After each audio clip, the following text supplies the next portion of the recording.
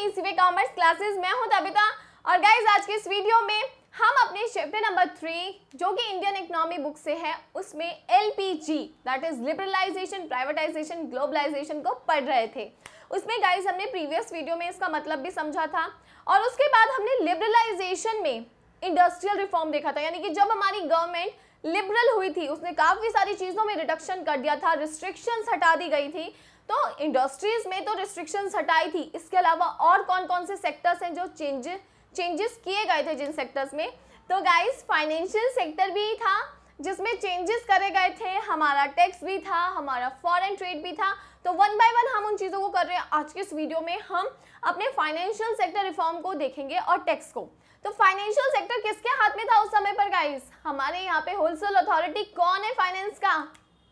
RBI that is called Reserve Bank of India so सबसे ज़्यादा guys हमारे यहाँ पर जो फाइनेंस को रूल करता है, वो है RBI Reserve Bank of India जिसे हम अपना सेंट्रल बैंक भी कहते हैं। यानी कि इंडिया का सेंट्रल बैंक कौन सा है? आरबीआई है। तो गवर्नमेंट ने सबसे पहले उसके रोल को चेंज किया। Change in role of RBI. RBI के रोल को चेंज कर दिया। अब क्या करा था? रेगुलेटर से उसे फैसिलिटेटर बना दिया फाइनेंशियल सेक्टर का। पहले वो रेगुलेटर था रूल्स रेगुलेशन सब कुछ रेगुलेट करके चलता था उसके मुताबिक को अब उसे फैसिलिटेटर बनाया कि भाई चीज़ों को अपनी जिम्मेदारियों को कम करो थोड़ा सा लिबरल हो जाओ डिसीजंस बैंक के हाथ में कुछ दे दो अपने पास डिसीजंस जो मेन मेन है वही रखो। सो रेगुलेटर जो रूल्स एंड रेगुलेशंस लगा के रखता है उससे अब उसको हटा के फैसिलिटी प्रोवाइड करने वाला बैंक बना दिया था। ठीक है? सो so, रोल जो था आरबीआई का कम किया ताकि उससे क्या हुआ गाइज़ उससे ओरिजिन हुआ हमारे प्राइवेट बैंक्स का। अब प्राइवेट बैंक्स आ गए। उनको पता था हम बैंक खोल सकते हैं डिपॉजिट ले सकते हैं। लेकिन येस ऑफ़ कोर्स हमें लाइसेंस लेना है। किससे? आरबीआई से।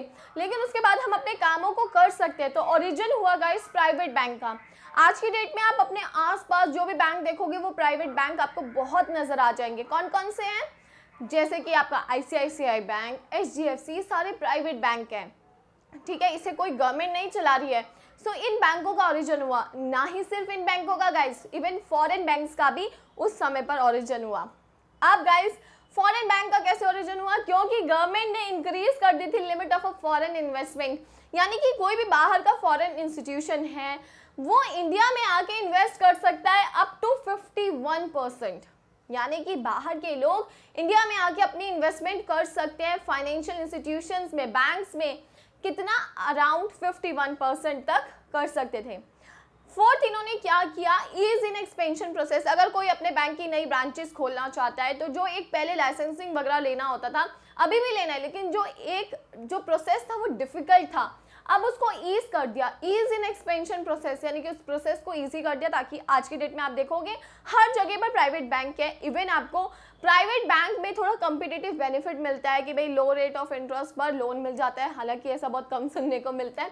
बट येस कॉम्पिटिशन होने से हमें कई तरीके की स्कीम्स मिल जाती हैं। ठीक है? तो ये सारा फाइनेंशियल सेक्टर रिफॉर्म किया था गाइज़ टैक्स में क्या चेंज किया? टैक्स में रिफॉर्म का मतलब क्या होता है? That is called the reform in government taxation and public expenditure policy tax reform में गाइस बेसिकली गवर्नमेंट ने टैक्स को रिफॉर्म किया था और अपने खर्चों को रिफॉर्म किया था which are collectively known as physical policy physical policy होती है गाइस गवर्नमेंट के पास इनकम का ज़रिया होता है टैक्स और खर्च करने का ज़रिया होता है एक्सपेंडिचर जो भी हमें देश में करना है। गवर्नमेंट कमाती भी हमसे है, खर्च भी हम पे करती है। कमाती किस फॉर्म में? टैक्स के फॉर्म में। खर्च किस फॉर्म में करती है? गवर्नमेंट एक्सपेंडिचर कहाँ कहाँ पे गवर्नमेंट हॉस्पिटल ब्रिजेस जो भी हमें फैसिलिटी मिल रही है इलेक्ट्रिसिटी एंड ऑल ये सब क्या है? गवर्नमेंट की दी हुई है। सो गवर्नमेंट हमसे ही कमाती है और हम ही पर लगाती है। इस पॉलिसी को हम फ़िज़िकल पॉलिसी कहते हैं। सो कलेक्टिवली उसको क्या बोला जाता है? Physical policy so reform in a government taxation tax reform में गवर्नमेंट ने टैक्स को रिफॉर्म किया था और अपने खर्चों को ठीक किया था। अब सबसे पहले टैक्स में क्या क्या चीज़ें चेंज करी गई गवर्नमेंट ने?